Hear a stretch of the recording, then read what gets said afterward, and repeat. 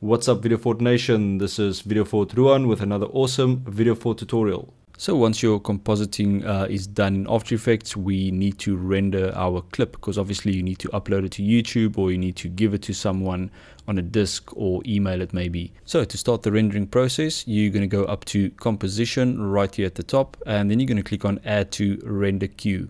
Okay, so that's going to open up your render queue and right here at the bottom it's going to say output 2 and that's the file or the location where it's going to save your render. So very importantly, click on that and then you're going to tell uh, After Effects where to save this. So I'm just going to put it on my desktop for now and I'm going to call this final render. Okay, and then I'm going to click on save here at the bottom and then we need to go into the settings and choose the codec and all of those things.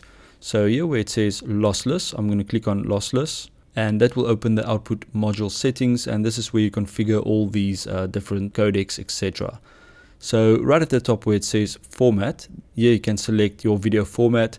So obviously I am working on a Mac so you might have a few different settings. If you're working on a PC you might have something like AVI so for now I'm just going to use QuickTime and you should have QuickTime on a PC as well. And then we're going to click on the format options button here and this is where we select our video codec and um, usually for delivery to something like YouTube you will use the H.264 codec so let's look at a few other options that we have here on a Mac you've got your Apple ProRes codecs really high quality really good um, like your Apple ProRes 422HQ. Okay, so if you're on a PC, you can download and install the Avid DNxHD codec, which is also a very good lossless codec for editing, etc.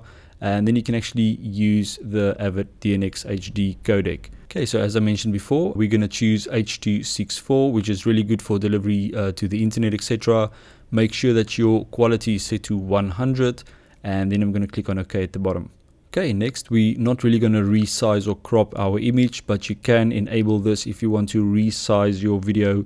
Maybe you want to output this at uh, 720p, which is 1280 by 720, or maybe even something smaller if you want to email it to someone, etc but we're going to keep it the same output as the uh, original comp which is 1920 by 1080 and then we've got our audio settings at the bottom. Obviously we didn't do any sound on this so you can either leave it on auto or you can switch it off. Doesn't really matter. Okay then I'm going to click OK to confirm all those settings and then all you have to do is click on the render button here on the side.